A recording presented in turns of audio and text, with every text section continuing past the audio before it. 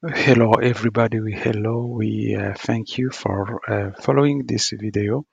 So I'm going to show you how you can uh, actually you can reverse a payment that is done by um, using electronic means. So you send the payment, electronic payment to the bank and uh, then it happens that uh, probably you missed out some information, something's wrong with the vendor information, and the bank refused or returned the payment, didn't pay.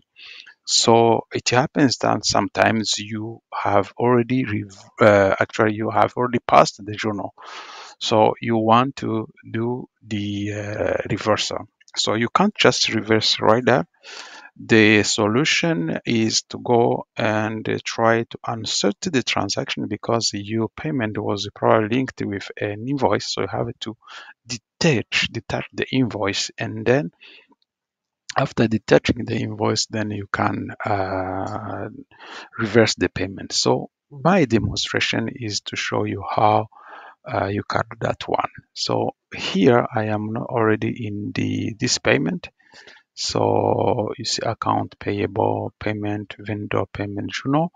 And uh, let me just say process this payment. Payment uh, EFT and the amount this one US dollar and it is an electronic payment. So what I'm going to do, I'm going to try to validate to see if this one is going to work by simulating validation actually. Okay, so you see operation completed, no problem. So I can go and process the uh, the payment. So I'm going to generate the payment. So it's electronic and uh, it should send me a file that uh, that can be sent to the bank and the, the file as you can read it here this is a file that is going to be sent to the bank okay?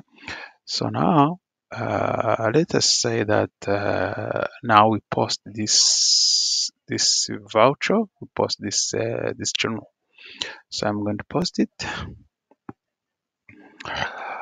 And now it is posted. So if i go back and see all the posted journal that has been posted today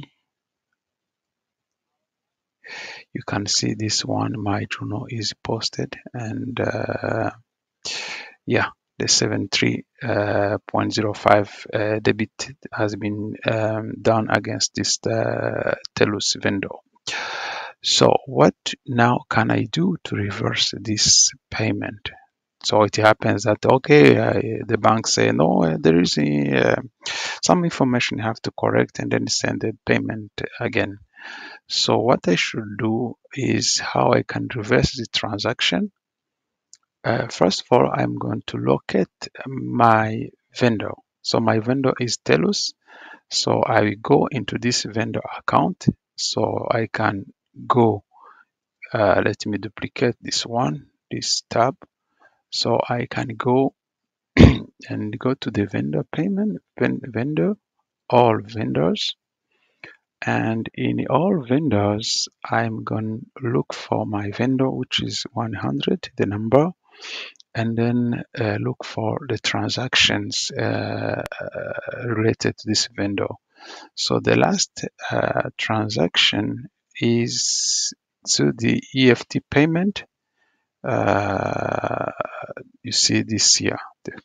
So this is the payment that I have just made. So what I will do um, I would first detach or unsettle unsettle the uh, this payment. So I go to um, undo settlement.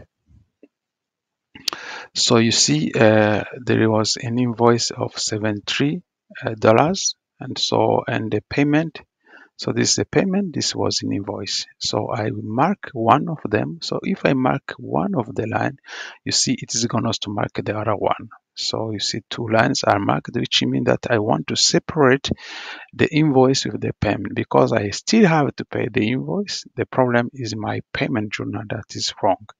So I reverse first.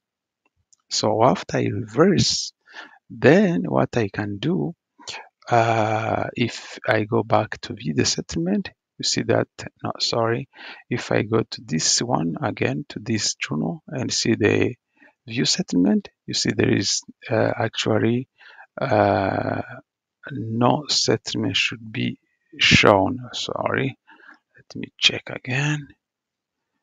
Uh, view settlement.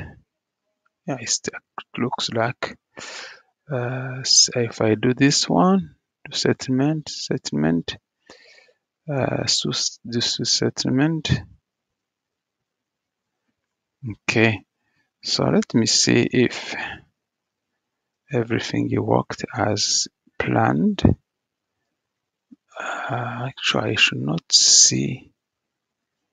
Uh, okay, amount set is zero. Okay, see the amount set is zero. And if I see the settlement history, okay, I can see that the settlement was done. Okay, so now I'm going back to uh, I'm going to go back to the payment journal. So what I do, I create a new payment journal for this vendor. So new payment. Uh, no, I have to reverse reverse payment. So I'm going to to this one. So I found the payment the, the vendor.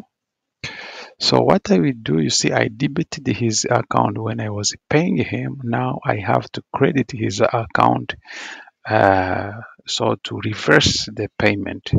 So if I go back into my settle transaction, so I should found um, uh, the 75, this one, which is on the as a, a, a credit a debit. So I click on it.